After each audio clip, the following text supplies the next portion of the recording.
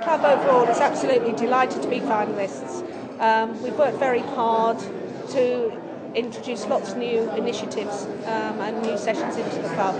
Um, and it's wonderful for all our members who have given up their time and expertise. Loads of people have come up here today from Brightlingsea Sailing Club to support us on the stage later. We were absolutely, absolutely thrilled and uh, surprised and, and delighted, and the, the club was fizzing.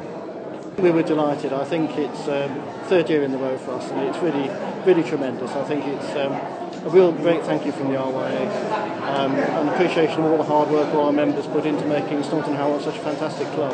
The whole of the club was ecstatic. It was a very exciting moment. I thought it was a tremendous achievement for our club and our members and volunteers.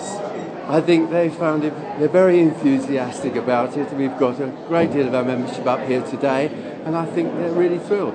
The winner of the 2014 RYA Club of the Year is Staunton Harold Sailing Club.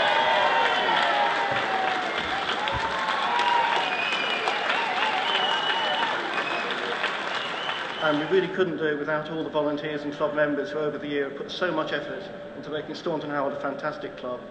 So I'd really like to thank uh, Heath Gallagher and the RYA for this award. I'm struggling to find the right, the right words. It's just a fantastic feeling.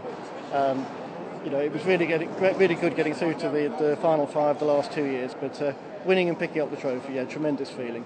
I think, and uh, real credit to all the members of Staunton Harold who've worked so hard to make it such a great club. It, it's one of these things. We put a lot of effort into the club, and it's just fantastic that the RYA says we're doing a good job. We're going in the right direction. I think it'll enthuse the members even more. You know, it'll get a. We already get a lot of people helping volunteering. It'll just inspire them even more and encourage us to keep improving. You know, you can never never stop. You just got to keep keep improving the club and developing it. So yeah, fantastic day.